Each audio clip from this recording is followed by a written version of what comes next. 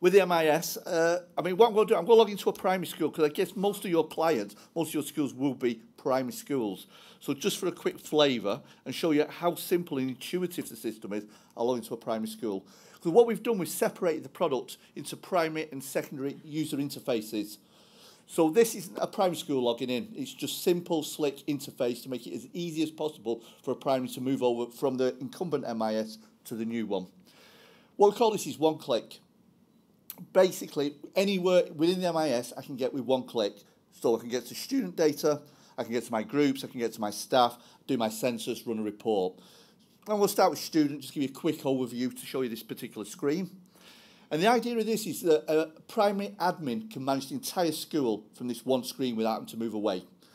So first of all, I've got all student data. So I've got here 424 students. I can filter this on the left-hand side. So if I just want to work on year six, filter down. If I just want to look at the girls in year six, I can filter female. And I've got 27 females in year six. If I want to flick that, I can flick that to photo view, list view. The columns of data you're seeing against each child, again, I can customise to myself what I want to see. So if I want to see on the contact one and I didn't want age, I can do that and it will refilter that and put that information on. Obviously, it's going to be skew with the amount of data I put on uh, and the resolution of the projector. So what I'm just going to do quickly is remove contact one though, just get it looking slick again. So I can quickly filter. The filters on the left-hand side, again, I can customize. So if I need to look for, you know, any particular filter, add that on, filter it down, I've got them pupils on screen. And that's just some quick features. What we find that primaries do is use this as a quick report builder.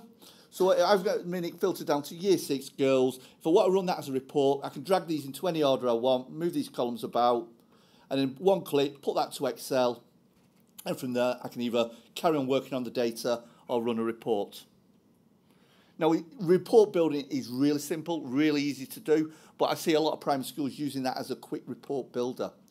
What screen's really designed for is managing the student data. So whether I'm going in, I've had a few phone calls, I need to amend attendance.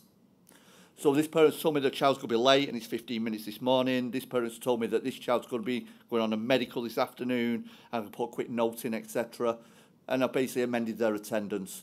Maybe some more of the children I need to go in now as admin and I've got to record a behavioural event, so I go to behaviour, pick the behaviour code. So in this case, let's say it's listening uh, and it's going to be uh, good listening, put in by whichever teacher and save. And I've just gone into behaviour. Where historically, obviously, a lot you'll see Bromcom thinking, well, it's more secondary product. And it was. Four or five years ago, it was very much like the incumbent. It was a, a standard product, whether you're primary, secondary, whatever. What we did, though, five years ago, was split the software team. So we have a software team now working on the primary UX, user experience, and one working on the secondary. And like I say, the idea of this is so that one person can manage the entire thing. So again, end of the year, you could pick the whole of year six, process them as levers, pick the children who go into a certain secondary school, and again, do a CTF export, which local authority, which school, there's my CTF file, S to S, job done. So again, I'm managing absolutely everything from one screen. Pick children I want, I maybe want to send a, an SMS or an email to these contacts. I can either go down and start typing a message, or I can pick a pre-built template. You can insert fields into your templates. Uh, I can send that as SMS or email. Obviously, email can put attachment to. But what I've also got is send push notification. So as a parent, I've got access to a, an online portal called My Child at School. But there's also an app, iOS, Android app. If the parents install that, the system will know. And what it'll do if I take this particular box, it'll send a push notification to the parents who've installed the app, but then send an SMS to the parents who've not installed the app. So obviously that can reduce the cost.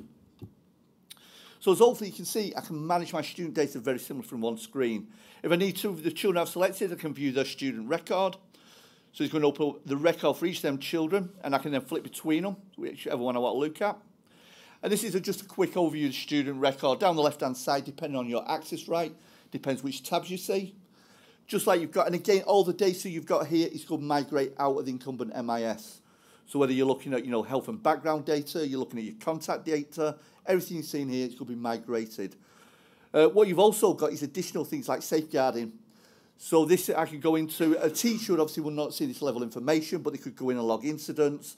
They can type what kind of incident. So maybe the child's coming today with a bruise. So I can say they've got a bruise on left arm. I can flick to my body map, indicate where that is, so go and complete the incident. And then it'll send an email or text to the safeguard lead. Now, currently, they'll have to buy an additional system to do that. So they may be using something for safeguarding, they might have a text messaging, emailing system, various bolt-ons onto. And this is what James was saying, you know, when you look at TTO, these are the things you've got to take into consideration is you can remove all the bolt-ons.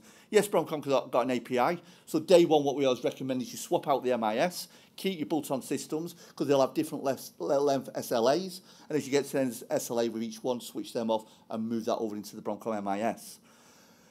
I say this has been a real quick tour of it. You can do a lot more. Like I said, it's a really re easy report builder, label builder. You know, like I said, I'm more than happy to come out, sit with your support teams, go through it in great detail. I'm just going to hand over to John though, because we're going to quickly touch on the fact that we've got a fully integrated finance system.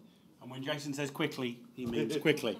so, what we did with our finance system, we engaged with um, Newham Partnership and their schools to start putting together our own finance package because we found there wasn't another cloud based system out there that had one.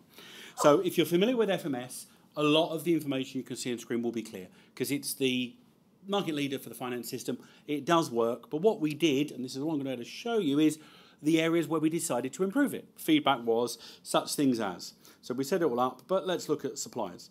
So you'll be able to go in and um, administer or adjust your suppliers. And my mouse has stopped working. Why's my mouse stopped working?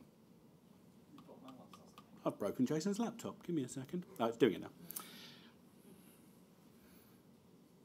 So we've got our individual suppliers here. This is quite familiar. You can set up your suppliers in the system. Difference is, straight away here, I'm in the suppliers list, but I can raise an order from here. I don't have to go somewhere else in the system. But better than that, let's have a look at the actual supplier. So if I view edit the supplier, I've got all the information here, including the activity for that particular supplier. Every single purchase order that we've got for the supplier is immediately accessible on that screen. I do not need to go somewhere else with a little post-it note with my supplier reference in order to raise a purchase order. I can do it straight from here. I can do a free text or just a generic purchase order.